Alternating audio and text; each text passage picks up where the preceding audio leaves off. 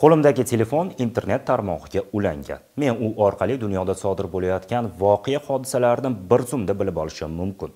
Bundan tashqari ijtimoiy tarmoqlarda nimalar muhokama qilinayotganligini kuzatib borish imkoniyatiga egaman.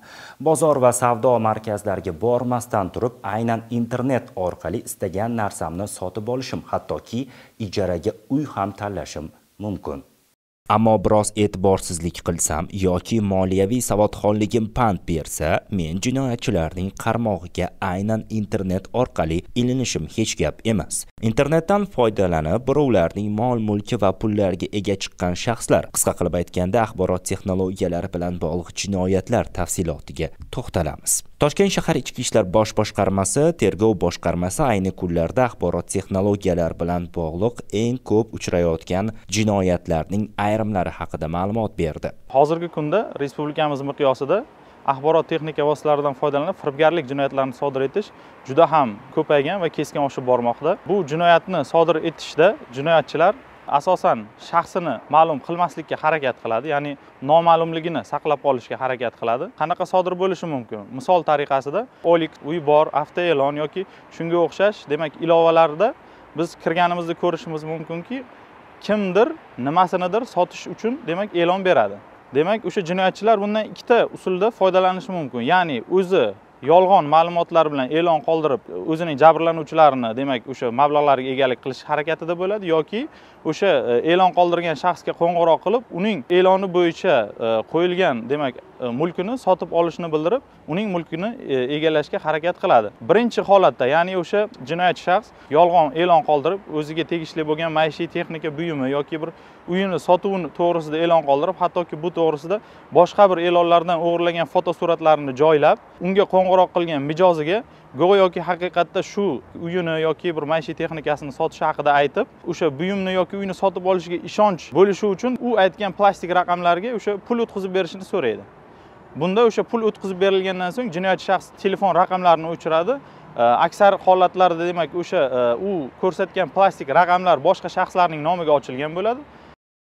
Internetda ijtimoiy tarmoqlarda uy oldi sotdisi ijaraga berish bilan bog'liq yuz bergan jinoyatlar bilan so'zlarimizni davom ettirsak. Yaqinda navoiy viloyatida tug'ilgan abdujalol xo'ja ismli fuqaro ichki ishlar bosh boshqarmasiga murojaat qiladi. O'z arizasida jabrlanuvchi ijaraga uy olish uchun internet tarmog'ida ibrohim ismli shaxs bilan tanishganini fotosurat orqali tanlangan uy uchun badal to'lovini to'laganini ammo ibrohim ismli shaxs bilan aloqa uzilganligini ma'lum qiladi. Ishonchga kirib pulga ega chiqqan shaxsga nisbatan qonuniy chora ko'rilishini so'raydi. Murojaat asosida toshkent shahar ichki ishlar bosh boshqarmasi jinoyat qidiruv boshqarmasi xodimlarining tezkor texnik tadbirlari natijasida mazkur firibgarlik jinoyatiga asl ismi ramiz bo'lgan shaxs qo'l urganligi aniqlandi.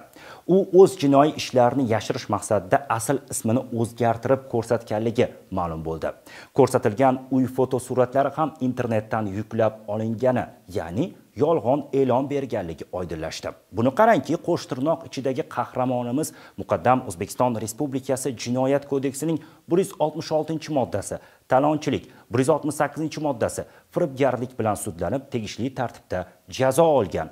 Ammo o'ziga yetarlicha xulosa chiqarmasdan yana jinoyatga qo'l urdi Bu Ramiz ismli shaxsning oxirgi jinoyati emas. Umuman aloqasi bo'lmagan uyning fotosuratlaridan foydalanib, yolg'on e'lon orqali birovga berib yubormaslik evaziga badal puli so'rab, yana 5 nafar fuqaroni aldashga erishgan. Fuqarolardan 300 ming so'mdan 800 ming so'mgacha pullarini plastik kartasiga tushirtirib olgan. Oldin probatsiyada turardim. Oldin makler bo'lib ishlardim haqiqatdan. Keyin simka sim kartamga uluksga mana shu uy yo'q uyni joylashtirib uch yuz ming so'm tushirib ko'rdim uyni ko'rsatmasdan turib tushirib berdi bu narsadan keyin u mana shu foydalangan foydalanganimdan keyin уже ikkita uchta to'rtta sim karta olib yana shunaqa ish takror qildim keyingi holat ham xuddi shunaqa. O'liksga e'lon e'lon berilib zakrat tashlab bersang uy ertaga ko'rsataman degan gap bo'ldi o'sha yerda. Plastik kartaga tashlattirdim. Shundan keyin tashlab bergandan keyin sim kartani o'chirib boshqa sim karta qo'yib foydalandim. Jami nechta holat bo'ldi shunaqa? Oltita holat bo'ldi mazkur holat yuzasidan ramiz ismli shaxsga nisbatan o'zbekiston respublikasi jinoyat kodeksining bir yuz oltmish sakkizinchi moddasi bilan jinoyat ishi qo'zg'atilgan. Agarda siz ham mazkur shaxsdan jabr ko'rgan bo'lsangiz toshkent shahar ichki ishlar bosh boshqarmasiga murojaat qiling. Axborot texnologiyalari va internetdan foydalangan holda sodir etilayotgan yana bir jinoyat usuli haqida sizga ma'lumot berib ogohlantirmoqchimiz. Ya'ni siz internetda biror bir buyumingizni sotish haqida e'lon joylashtirganingizda aloqaga chiqqan xaridor bilan gaplashishda hushyor bo'ling. Aynan jinoyatchilar siz aytgan narxda buyumingizni sotib olishga rozi bo'ladi. Pulni esa plastik kartaga tashab berishini aytadi. Buning uchun sizga internet silkasini jo'natadi. Agar siz hushyor bo'lmasangiz uning aldoviga uchasiz. Yuborilgan silka orqali kirib karta ma'lumotlaringizni kiritasiz. Shunda sizga sms xabar orqali kod ham kelishi mumkin. Uni ham kiritganingizdan keyin jinoyatchida sizning kartangizni masofadan turib boshqarish imkoniyati yaratiladi. Qarabsizki hisobingizdagi pullar g'oyib bo'ladi. Plastik raqamining kodi amal qilish muddati va uning telefon raqamiga kelgan maxfiy kodni kirg'izishi bu o'sha jinoyatchining u plastik kartada ichidagi mablag'larni tasarruf qilish imkoniyatini ega bo'lishiga sababchi bo'ladi. Natijada jinoyatchi shaxs shaxsini oshkor qilmasligi orqali demak jabrlanuvchining o'sha plastik kartasida ichidagi mablag'larini o'zining oldingi jabrlanuvchilari o'zining oldin o'sha pul mablag'larini yechib olgan shaxslarning kartalari yoki plastik zanjirini yaratib besh oltita shaxsning nomiga o'tkazib keyinchalik uni respublikamiz tashqarisidagi demak qo'shni respublikalarda ochilgan hisob raqamlariga olib chiqib ketish orqali demak pul mablag'larini o'zlashtiradi. Yana bitta narsadan ogoh bo'lish kerak payme oson yoki shunaqa e, bank tizimini o'zini ilovalari mavjud bank tizimi bilan integratsiya qilingan ilovalar mavjud. Demak har birimiz bundan e, judayam juda unumli foydalanamiz.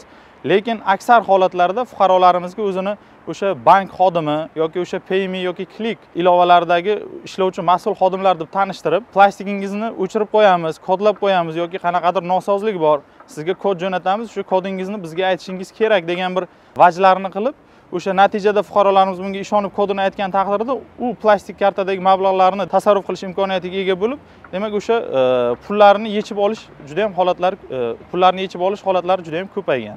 Yana bir sodir etilgan jinoyatga e'tibor qaratishingizni so'rardim. Yana internetda berilgan e'lon bilan bog'liq. Ya'ni bir hamyurtimiz yaxshi niyatlar bilan avtomobil sotib olish uchun pul yig'adi. Internetda esa qisman arzon bo'lgan spark uning e'tiborini tortadi. Voqeaning to'liq tafsilotini mazkur jinoyat ishini ochishda bevosita ishlagan toshkent shahar ichki ishlar bosh boshqarmasi jinoyat qidiruv boshqarmasi tezkor vakilidan eshitsak. Reklamalarda kanalga aloqa ulanib u yerda bir e'lonni ko'rib qoladi o'z o'zidan ya'ni e, spark rusumli transport vositasini arzon narxda ya'ni hozirgi kunda avtosalonlarda va transport savdosi bilan shug'ullanuvchi bozorlardanda ko'ra narxlardanda ko'ra arzonroq bo'lganini ko'radi va o'z o'zidan ishonadi. Aloqaga chiqib ushbu e'lon bo'yicha ya'ni o'sha noma'lum shaxs bilan savdo sotiq faoliyatini amalga oshiradi. Ular o'zaro kelishilgan summani kelishiladi sotib olish jarayoni va E, o'ziga xosi shundaki e, u yerda sotuvchi rolidagi noma'lum shaxs jabrlanuvchi sotib oluvchi rolidagi jabrlanuvchimizga vaqt qoldirmaydi. Ya'ni o'ylash uchun fikrlash uchun e, psixologik jihatdan vaqt qoldirmaydi. Ya'niki olsangiz oling bo'lmasam bu transformatsiyasini oluvchilari juda ko'p. Qabilidagi so'zlardan foydalangandan keyin bevosita jabrlanuvchimiz fursatdan foydalanib qolishni o'ylaydi har qanday fuqaro. Chunki arzon o'z o'zidan boshlang'ich to'lov deydi. Boshlang'ich to'lov uchun e, muayyan summani tashlab berishni so'raydi noma'lum shaxs va uni so'rashi natijasida e, o'z o'zidan pul o'tkazma qilib beradi. Kartadan o'tkazib bergan bank plastik kartasini o'tkazib berib o'zaro yozishmalar o'chib ketadi. Shu bilan aloqalashish imkoniyati uzilgandan so'ng jabrlanuvchimiz biladiki shu aldanganligini va murojaat qiladi. Murojaat yuzasidan surishtiruvlar olib borilib belgilangan shaxs ushlanib tergov bo'limiga topshirilib qonun joriy qilish masalasi ko'rib chiqilmoqda. Jinoyat sodir etayotgan shaxs faqat oyog'ini tagini ko'radi. Bu gapimga shubha bo'lmasa kerak menimcha. Biz toshkent viloyatida joylashgan jazoni ijro etish muassasasiga bordik. U yerda katta katta pullarni aynan axborot texnologiyalaridan foydalanib o'g'irlagan mahkum bilan suhbatlashdik. O'zbekiston respublikasining jinoyat kodeksining bir yuz oltmish sakkizinchi moddasi uchinchi g bandi ikki yuz qirq ikkinchi moddasi ikki yuz qirq uchinchi moddasi bir yuz yetmish yettinchi moddalar va bir necha yana moddalar bilan sakkiz yil muddatga ozodlikdan mahrum etilganman kiber jinoyat internet texnologiya asosida asosida boshqa davlatlardan pul yechish shu jinoyat qilganman ho'p necha pul yechgansiz? Bir yuz oltmish besh milliard yetti yuz to'qson ikki million bo'lgan. Ikkinchi nima? Birinchi ishim o'ttiz besh million dollar pul yechganman kompyuterni bilasiz. It yo'nalishi bo'yicha. Tizim yarataman programmistman necha yoshsiz? Yigirma yettiga kiraman yaqinda hozir yigirma olti. Oila bormi? Ikkita farzandim bor. Birinchi nima? Koreya respublikasiga bo'lganman chejuda bo'lganman. O'sha yerda shu internetga kirib через sputnik orqali internet olib mana shu izraeldan pul ishlaydi izraeldan o'tgandan keyin o'n minut ichida yettita davlat bankiga aylantirganman pulni chunki izini qoldirmaslik maqsadida lekin hech qanday yolg'on yo'qku ochilmaydigan jinoyatga jazo muqarrar deganda baribir topildi. Bu pullarni nima qilgansiz davlatlar shvetsariya banki belgiya polsha koreya izrael bryusselga qaytarganman через nima orqali? Shu vizam orqali aeroportda edim turkiyadan qaytdim rossiyaga. Rossiyadan уже facebook qidirgan ekan o'zbekiston запрос bergan ekan. O'zbekistonga kelib jazo muddatimni o'tayapman hozir to'rt devor o'tirib har bir kun har bir soat har bir daqiqalar inson uchun qanchalik qadrli ekanligini to'liq tushunib yetdim. Payg'ambar alayhissalom aytganlar man g'oshshana falaysa minna. Kim bizni aldasa u bizdan emas. G'oshshani hamma yo'nalishga ishlatsa bo'ladi bu so'zni. Aldash. Oziq ovqat savdosida ham qurilish mollari savdosida ham pul oldi berdisida ham kiyim savdosida ham umuman hamma muomalaga g'osh so'zni ishlatsa bo'ladi. Aldov so'zini. Kim bizni aldasa nima sohada bo'lmasin u bizdan emas dedilar payg'ambar alayhisalom ya'ni musulmon bo'lmaydi dedilar. Chunki alloh subhanahu va taolo hamma vaqt ko'rib turadi. Kompyuterda oldida o'tirib olib birovni kartasidan yechyapman hech kim bilmayapti meni.